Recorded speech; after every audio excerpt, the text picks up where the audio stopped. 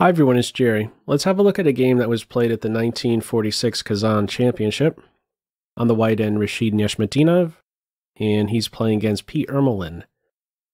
On board, we have an open Sicilian, Dragon. What variation does white go with to defeat the dragon so fast? F4. The Levenfish.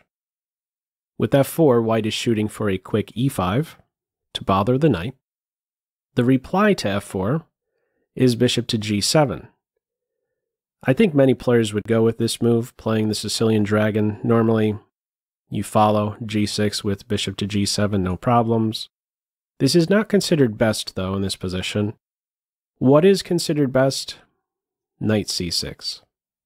Now, I'd like to touch on a few variations with this sixth move by black, knight c6. As mentioned, it's a brief game. By move 8, though, this game is already over. It's decisive for white by move 8.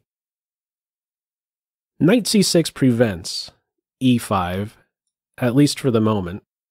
If white tries e5 here, black can take, and there's no time to recapture, because there's a problem. There would be a problem on d4. What is considered, in the computer's eyes, best is to continue to develop. Bishop e3, strengthening white's control over d4. In practice, though, knight takes knight is played, with then e5. And from here, after knight d7, play can continue with pawn takes on d6, or queen to f3 with an eye on the c6 pawn. It is still very much a ball game ahead. One thing I questioned in this position was what if black goes ahead and says, you know what, I'm okay being uncastled because I want to go after this pawn on e5 with the knight and bishop. So for instance, knight d7 or knight g4 followed up with the fianchetto. Would white have to give that pawn up? No. For instance, if the knight goes to d7, first of all, as white, you could certainly consider a pawn sacrifice, e6, to destroy black's structure further. Or you could defend the pawn, how I will show with knight g4. Bishop f4, bishop g7, and now white would be able to flick in this cool move, queenside castles with check. The best move here is bishop to d7, going into a pin, and then you're ready to play rook e1 to watch over the pawn. You don't have to give that pawn up. And next you can look to kick this knight away, maybe even sideline the knight on h6. There's a way that black can also go wrong in this position. And I think many players might play this very move. White would now be winning. What's the winning move here for white? Feel free to pause the video. Okay, winning move is knight b5, threatening not only to win the rook, but to give checkmate. So, for instance, if you move the rook, knight check, and that's mate. How else are you going to defend? If you move the king, it's mate straight away. The only other option, to take the knight. And now this is going to feel like checkers in a way, some triple jump coming up with bishop takes pawn check, king here, we know what happens. Bishop would have to block. There goes the bishop with check, and there goes the knight. That's our triple jump. In the end, white is up a piece. In any case, no knight c6 in this game. Instead, the fianchetto, e5 hits, d takes e5, f takes e5. What do you do here? In the game, the knight goes to d5, and it's over. There's only one move black can play to stay in the game, and that is knight d7. e6 is considered best, knight e5. This line here, it is still a ball game ahead. I'm not really a big fan I wouldn't really be a big fan of playing the black side here with this isolated pawn, but anyhow, that's just me. Where does black go wrong? Right here. He puts the knight on d5 in this game.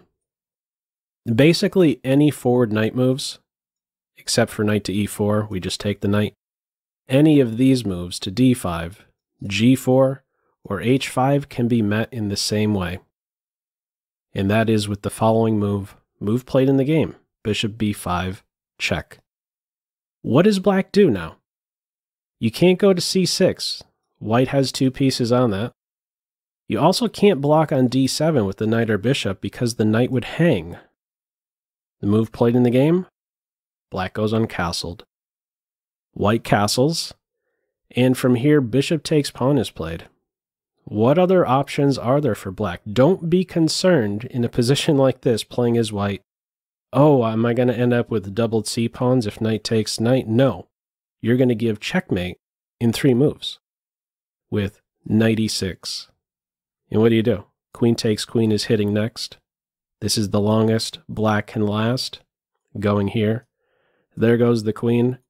And there goes the king. Any other tries here besides the move in the game? Bishop takes e5? Not really. How do you develop these guys? On a6, white would be glad to put the bishop on an even better diagonal where it coordinates on f7 with the rook. Anything else?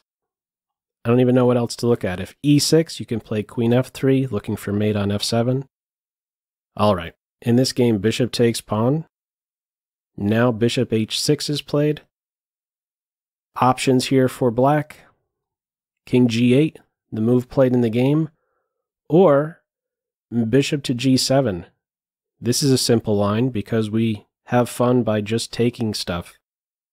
Bishop takes bishop check. Knight takes knight would follow. And after queen takes knight, we win the queen with knight f5.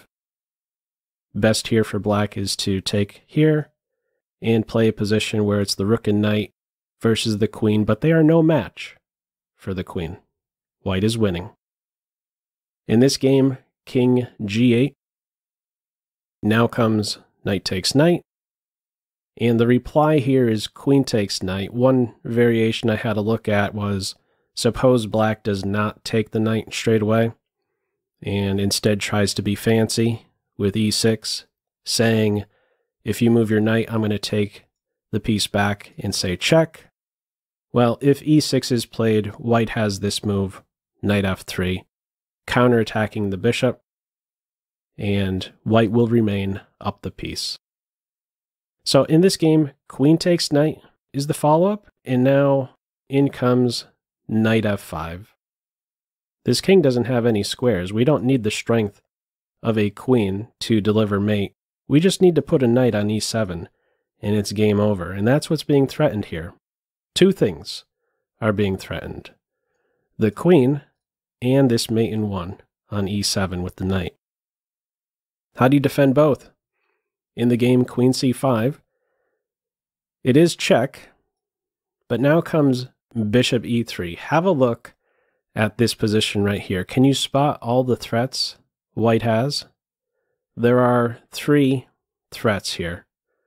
One is on the queen. Two is with a mate in one.